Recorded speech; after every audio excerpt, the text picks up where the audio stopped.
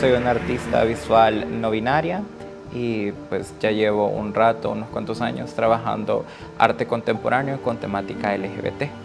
Esta pieza se llama Tránsitos, nace de un proceso que yo ya había trabajado previamente, que era justo esto de traer testimonios de personas LGBT a paradas de buses bordadas sobre eh, ropita de niño, porque tiene esta connotación de hablar de toda la violencia que nosotros vivimos desde que estamos como muy pequeños.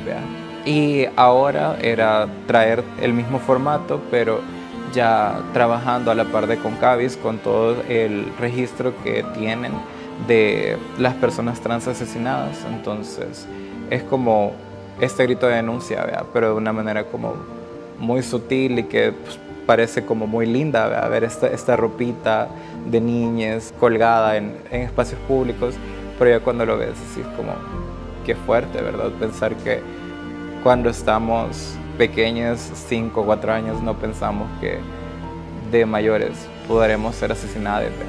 Es importante recordar que gracias a nuestras ancestras, a nuestras hermanas trans que empezaron esta lucha y que pues ahora en día nosotras estamos trabajando y luchando para visibilizar las realidades que vivimos las mujeres y las personas trans. Eh, muchas personas no toleran, no tienen empatía y no se sienten identificadas con el hecho de respetar a las personas trans. Se sienten con todo el derecho de poderles arrebatar su vida de maneras crueles e inhumanas.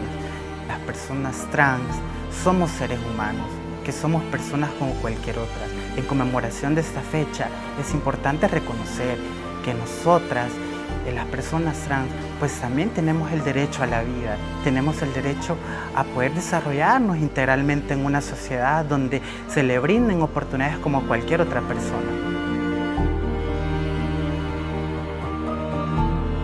El Centro Cultural forma parte de una agencia de cooperación para el desarrollo. Y esta agencia tiene un lema que es no dejarse a nadie atrás. Quien venga aquí sabe que no va a encontrar dificultades y que nosotros seremos siempre respetuosos e inclusivos. La actividad de hoy, por ejemplo, surge como algo más inocuo. Estamos hablando de una ciudad pensada para los vehículos. El peatón muchas veces está en riesgo.